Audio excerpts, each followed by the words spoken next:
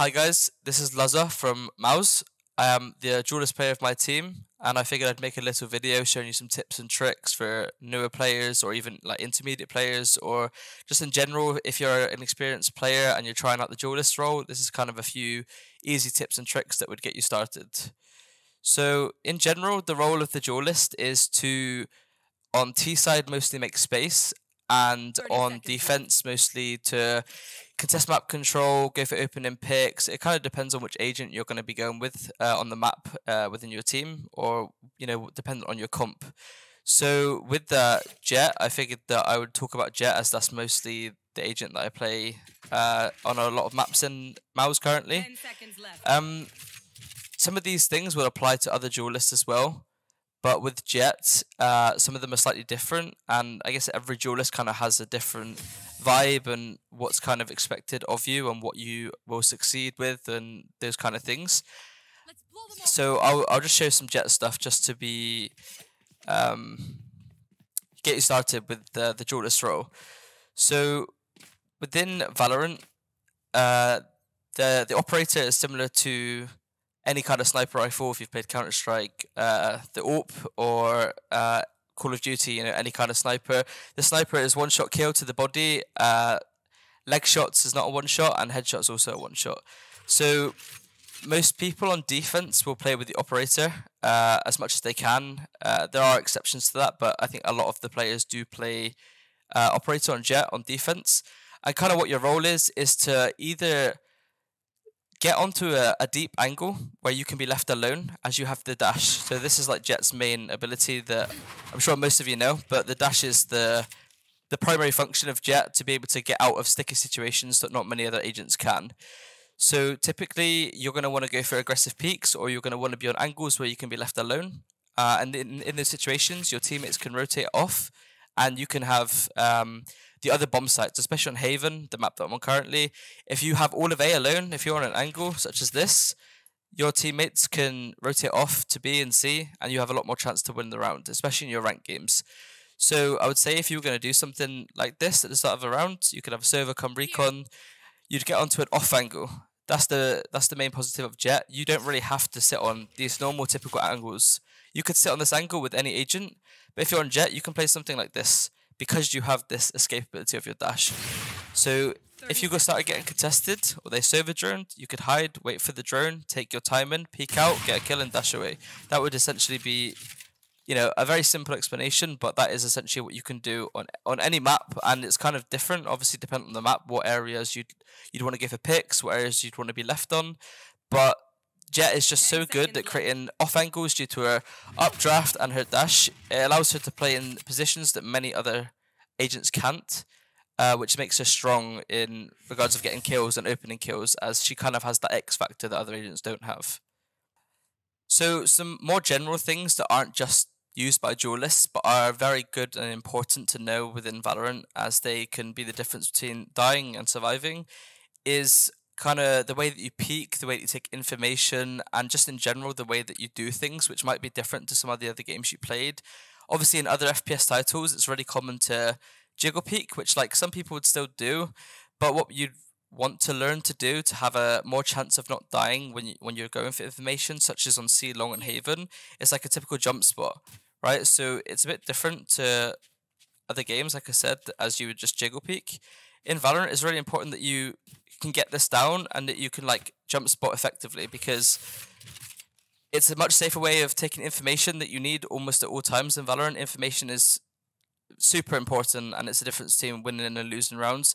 So getting down jump peeks is just something that you'd want to practice. There's there's going to be you know, loads of ways of practicing it. You could literally just come into a server and just practice the movement of jump peeking, or you can literally just try it in your rank games and see, you know, if you're dying less by trying to take info.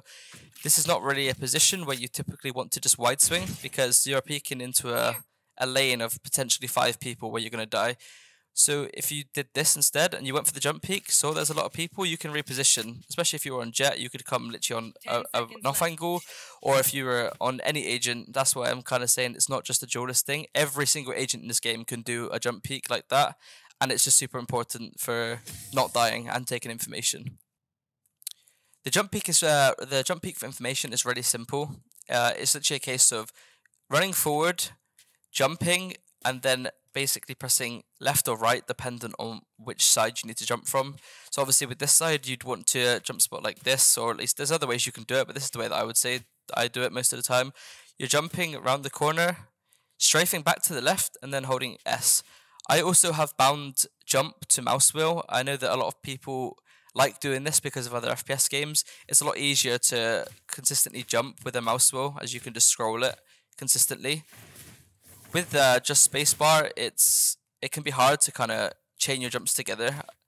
Um, so I would recommend doing that if you haven't already done that. Change into mouse wheel. So it's a case of running forward, jumping, strafing left, and then backwards at the same time. It, it would just take some practice.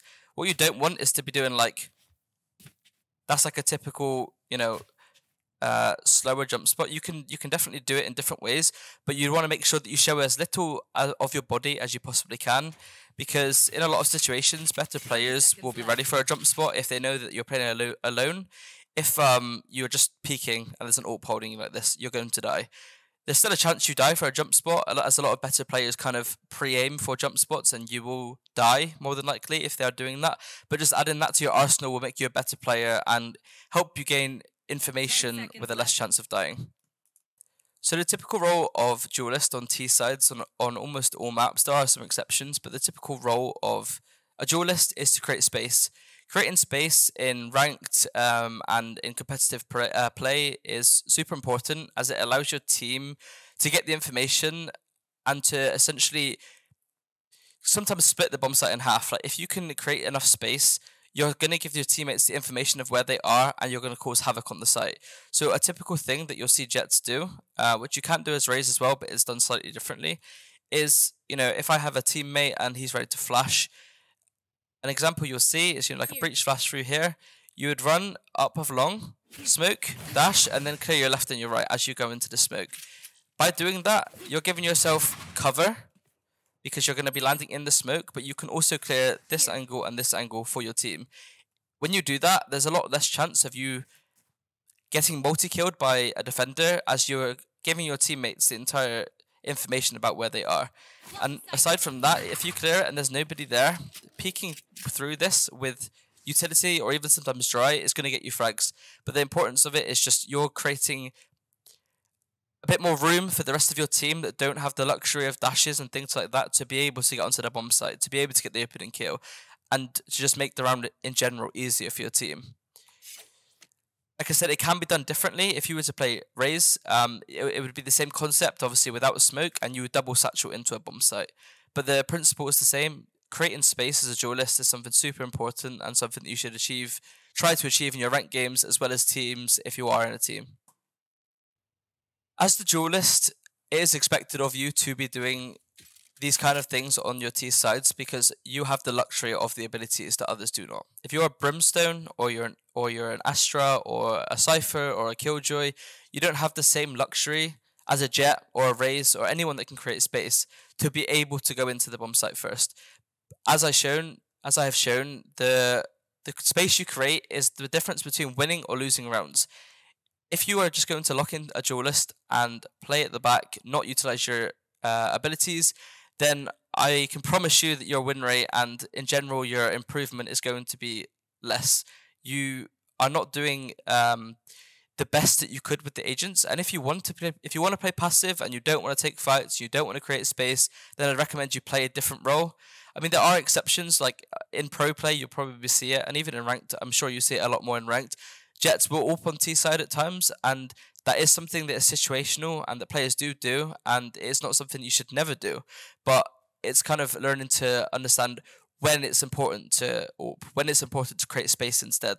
There are going to be certain comps where getting that opening kill with the AWP is going to be super beneficial. But there will be comps where it's going to be super hard for you to do that, or comps where it's going to be super hard for your team to take a bomb site without you dashing in. And that's kind of one of the learning curves that you need to take in ranked by learning when you can AWP, when you should AWP, when you should entry, and kind of just in general all situations, what is the best for you to do. I would say a good starting point is to play the duelist as a space creator and as an entry fragger on T sides. And I would uh, play around a bit with open on T side, but I would only do it in situations where you believe that it's the better thing to do. Thanks, guys, for watching the first video that I've made with MOUZ. Um, this has been kind of a bit of a few tips and tricks for the duelist role, some general stuff like jump peeking, and in general, just small things that will help you win more ranked games. And if you're in a team or you're a newer player, just maybe some things that you've not had much thought into. Uh, we're going to be making more content like this. So if you have absolutely any ideas of things you'd want um, explaining from professional players, from anyone in my team, be sure to leave it in the comments. And I'm sure we'll get around to making videos and helping you improve your ranked and hopefully get to Radiant. Thanks.